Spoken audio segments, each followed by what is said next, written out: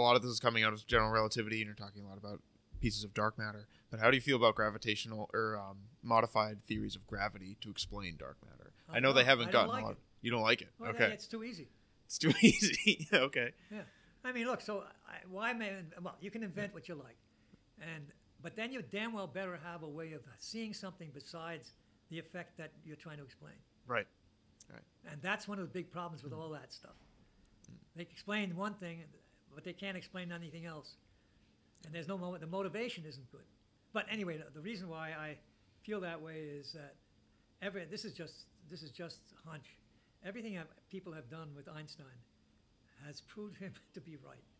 I don't know how he did it, how it happened that way, but everything that he says, even when he made the mistake, and he says he did make a mistake, but then the mistake was corrected, has come out. General relativity has come out on the money, and and and it, fact that in high energy collisions now, it's it's on the money. God damn it! How did it do that? How did Einstein know? It's just.